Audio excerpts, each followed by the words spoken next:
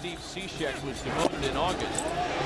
Throw down to second base is in plenty of time to get Nelson Cruz, who never had a chance. I want you to watch Baez right before he gets the throw.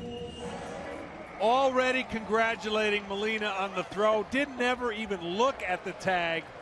This guy is one of the best at tagging the would be runners, but this is unbelievable.